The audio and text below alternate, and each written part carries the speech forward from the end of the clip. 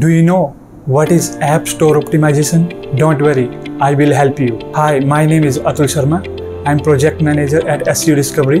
As you know that more than 5 millions of apps are available to download from Google App Store and Apple App Store. 70% of mobile users utilize the search to find the best app and game and 90% of downloading rate depends upon your app visibility in Google Play Store. So it's important to optimize apps in App Store.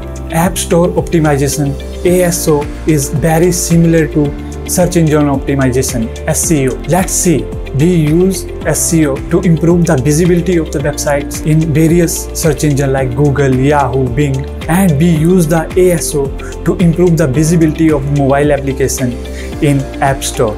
In on-page SEO, we generally focus on optimization of the website landing page, title tag, description tag, image, alt text, and page speed, and more. In a ASO, it's important to work on app title, app description, keyword, and it's very important to maintain the uninstall rate of the mobile application.